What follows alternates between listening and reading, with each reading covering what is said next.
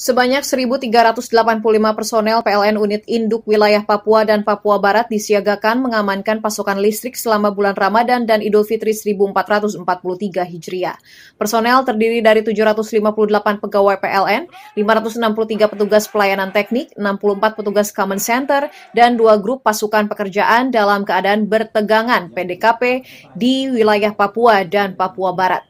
General Manager PLN Unit Induk Wilayah Papua dan Papua Barat Muhammad Andi Acaminurdin di Jayapura Senin 4 April mengatakan sekitar 92 titik di Papua dan Papua Barat menjadi prioritas pengamanan kelistrikan di mana sebagian besarnya merupakan rumah ibadah.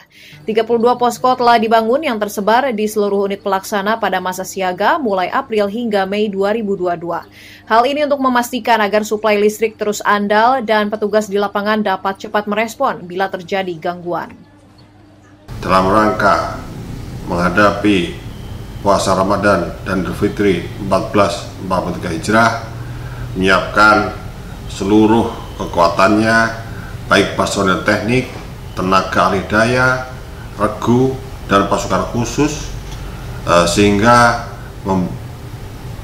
membuat eh, pelayanan kami lebih solid dan eh, berharap pelayanan kepada pelanggan bisa lebih maksimal.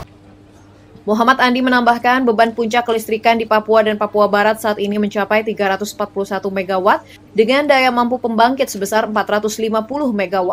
Kondisi tersebut memberikan cadangan daya sekitar 109 MW yang cukup untuk memenuhi kebutuhan daya selama Ramadan dan Idul Fitri di Papua.